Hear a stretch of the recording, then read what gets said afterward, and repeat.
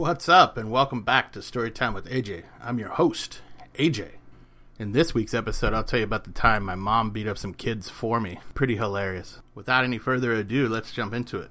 So it's eighth grade graduation. Uh, it, where I went to school, it was K through six, kindergarten through sixth grade, and then they had junior high, which is seventh, eighth grade, and then you graduated from that and moved on to high school, ninth through twelfth. So at the end of eighth grade, they have a graduation like it's some kind of celebration that you get to go to high school, follow the law, like you have to complete 12th grade. I don't know. Anyway, I'm at 8th grade graduation and I'm standing next to a, a buddy of mine, Spencer, and he's a pretty cool guy, um, but he comes up to me and says, "Hey, can you, after graduation, can you walk with me to the parking lot? There's these kids that want to kick my ass." So I reassure him. I'm like, "Sure, I'll walk with you, but I mean, it's eighth grade graduation. There's all kinds of parents, security guards. Nobody's gonna pick a fight with you here. Don't worry about it. But I'll walk with you."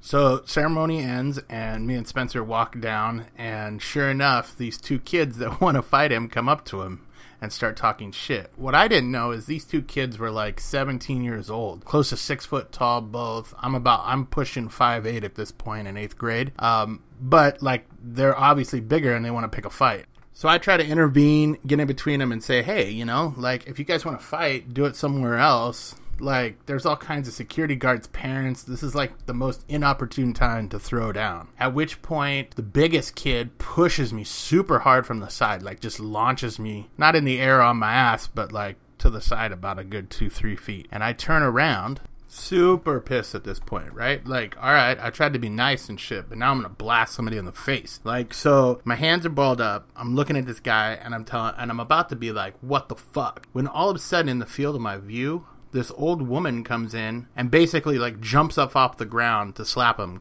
smacks this dude super hard in the face and the kid's face is like one of bewilderment. He wasn't expecting to get bitch slapped by some old lady. So at this point i'm like who the fuck is this old lady and why is she jumping in on my fight here? So i'm about to like chew this old lady out like hey listen old lady thanks and everything but i got this. When i hear my mother's voice and it dawns on me that this old woman that jumped up and slapped this poor kid in the face is my fucking mom. And she's apologizing profusely. Quick side note here my mom runs like a children's party business in town. So her motherly instinct kicked in and she slapped this kid because she saw him, she saw this kid push her son. But now she, all she can think about as she's apologizing is the newspaper headlines. You know, local party woman slaps kids in face, assaults children.